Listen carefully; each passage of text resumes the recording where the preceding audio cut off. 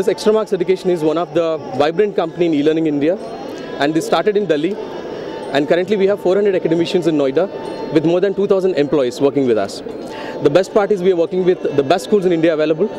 Uh, recently even CNBC has awarded as one of the best emerging uh, company in e-learning companies I would say. The advantage of using our technology is each and every school gets the best of uh, what they can. We have already experimented one year with Oasis in Shaikpet, after the experimental success, we started with Lead India. I'm proud to say that today Kalam sir is going to inaugurate our board also today. At the same time, each and every student would get benefit of feel, touch and use it. At the same time, this is a touchscreen board, what we are offering. The best of its kind. So Extramarks is going to be a part of Lead India schools. Thank you.